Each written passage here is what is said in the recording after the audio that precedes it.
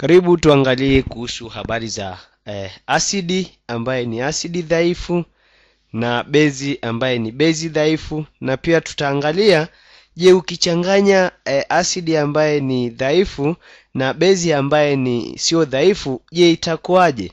Na ndicho tunachoenda kuangalia hivi sasa. Hii ni asidi na naandika hizi alama kama ku, kuonyesha asidi ambaye ni dhaifu nikilinganisha na eh, asi, ne, na hydrojeni nalinganisha na hydrogen. Hii ni aqueous. Nikisema aqueous maana yake ni kimiminika. Kwa hiyo sasa nataka nichanganye nijue ni nini kitatokea, na hii hapa ukichanganya pia na na, na kitu kinachoitwa eh, bezi ambaye ni ni ni, dhai, ni, ni dhaifu bezi, bezi ambaye ni dhaifu. Sasa hii ni usawa, kuweka vitu katika ulinganisho. Kuweka vitu katika ulinganisho maanake unachukua kitu ambaye eh, ni asidi ambaye pia ni dhaifu jum, unachanganya una, unauwekea kwenye bezi ambaye utakuta hiyo bezi sio dhaifu. Je, itatokea nini? Ndicho tunachoenda kuangalia hapa kwamba je, tutapata kitu gani? Hivi ni vitu viwili, nimesema hii ni asidi ambaye ni dhaifu na kuna pia na bezi hapa je itatokea nini? Kitu gani kitatokea? Hichi nilichoandika hapa ni tunaandika tunaangalia e, baada ya kuongeza yatatokea mabadiliko gani? Ni mabadiliko gani yataenda kutokea? Ni maswali ya kujiuliza. Lakini haya maswali yana majibu kwa kufanya hivi. Kwa mfano ukichukua hii sodium e, hydroxide hii ni bezi ambayo sio dhaifu. Ni bezi ambayo sio dhaifu. Sasa tunataka tuchanganye na nini? Na asidi kama nilivyosema asidi ambaye e, ni dhaifu. Je tutapata nini? Na tutaona itatokea nini? Na lazima mchanganyiko utatokea. Lazima mchanganyiko utatokea. Sinaona nachukua hii ambaye ni nimesema ni bezi naenda kuchanganya kwenye hii kimiminika ambaye ni asidi tutapata nini? Nalinganisha vitu viwili kwa wakati mmoja. Ninapolinganisha kumbuka ninapolinganisha lazima mabadiliko yatatokea. Hayo mabadiliko ndio tunataka tuyaone. Baada ya kuchanganya hivyo vitu kwa wakati mmoja na unaposema hivi ma, naposema hivi maana yake nataka uelewe kabisa kwamba hivi vitu unavyovichanganya ni vitu viwili tofauti. Na inapotokea basi unapochanganya hivi vitu viwili tofauti lazima eh, kitu kingine kipya kitazalishwa. Kitu kingine kipya kipi kitazalishwa? Tutaona. Angalia sasa. Hii hapa kuna ambaye itakuwa inashuka chini na kuna ambaye itakuwa inapanda juu. Katika kuchanganya kule kuna ambaye itakuwa inashuka chini na kuna ambaye itakuwa inapanda juu. Na naposema hivi maana yake ni kwamba angalia hii hapa ni hydrogen. Hydrojeni ambaye ni ina, ni acid ni acid tumesema ni iko kwenye upande ule wa acid.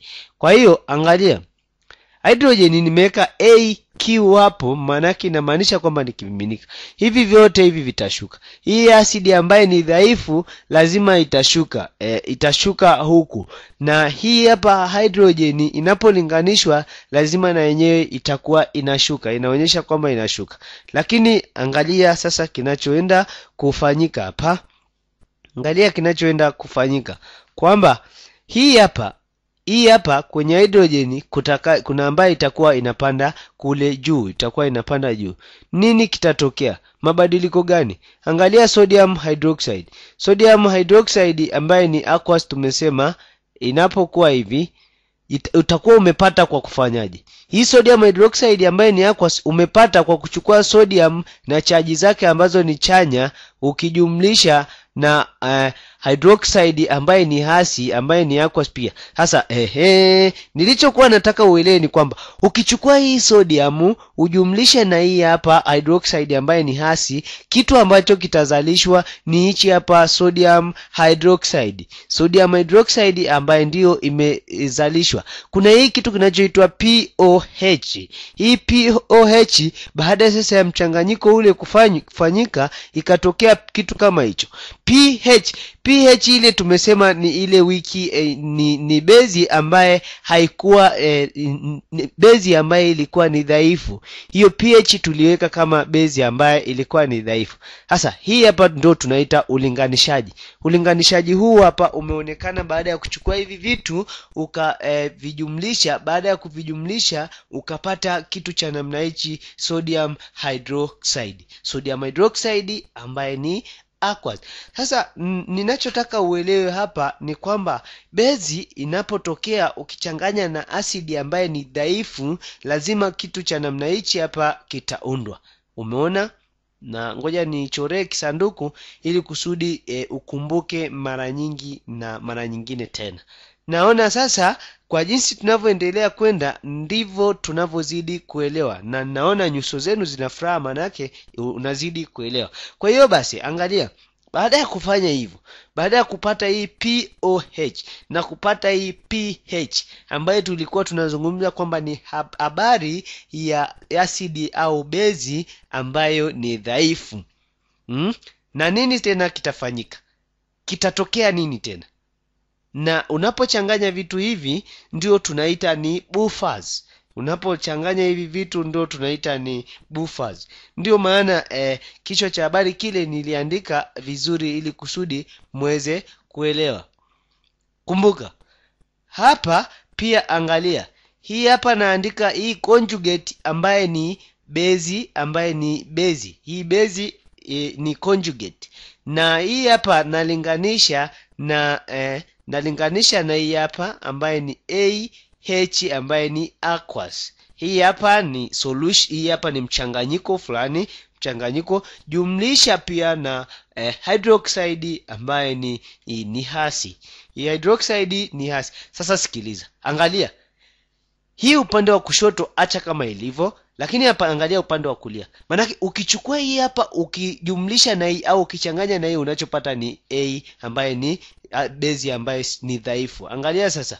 Hydrochloric ambaye hydrochloric huwa ni acid. Hydrochloric itaundwaje? Itaundwa baada ya kuchukua hydrogen ambaye ni aqueous jumlisha na chloride. Ukijumlisha na chloride ambaye ni hasi uta, utakuja kupata hydrochloric ambaye ni acid asidi hii hapa eh, hydrochloric acid sio kwamba ni asidi dhaifu. Hii ni asidi ambaye ni kali sio dhaifu. Ukilinganisha na ni conjugate ambaye umeipata kwenye hii hydrogen ambaye ni conjugate e, kumbuka napochanganya vitu kama hivi inabidi uwe mwelewa wa haraka kwa sababu unapo unapotafuta kutafuta zao fulani lazima uchanganye kitu kimoja na kingine.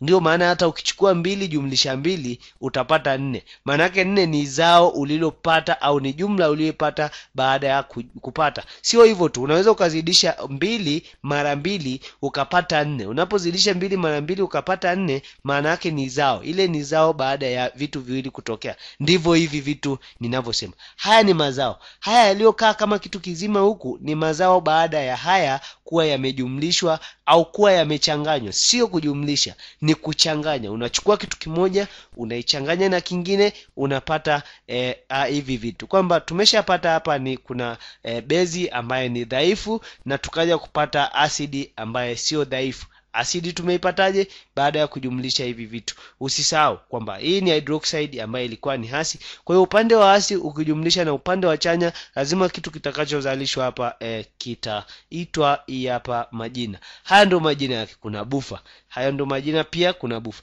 Yaani bufa ninaposema hivi ni yale mazao yaliyozalishwa baada ya ku, ku, kuwa umeyaweka pamoja au umeyachanganya hivi vitu hapa. Ukiyachanganya hivyo vitu hapo yatakayozalishwa ndio tunaita ni bufa. Mm -mm. baada ya hapo sasa tuende nini? Tufanye nini? Tujifunze kitu kingine ambacho eh, kina uhusiano zaidi na hapa kuhusu ulinganishaji. Huu ulinganishaji angalia hii eh, hydroxide. Hydroxide ilipochanganywa na ah ikaunda kitu cha namna hicho. Tuangalie na uh, huku tulikotoka mwanzoni tulikotoka mwanzoni utakuja kuona ni vitu gani vimefanyika hivi baada ya buffers umeshaelewa maana yake nini? E, umeshaelewa maana ya ha maana yake nini? Na ulinganishaji umefanyika. Unaona hizi alama za katikati kama mshale? Sio mshale ni ulinganishaji. Nataka nilinganishe. Hii hapa ukichanganya na hii zao linalotokea ndio hilo. Ndio maana ya hizo alama. Na nimekufundisha hizi alama sio mara moja.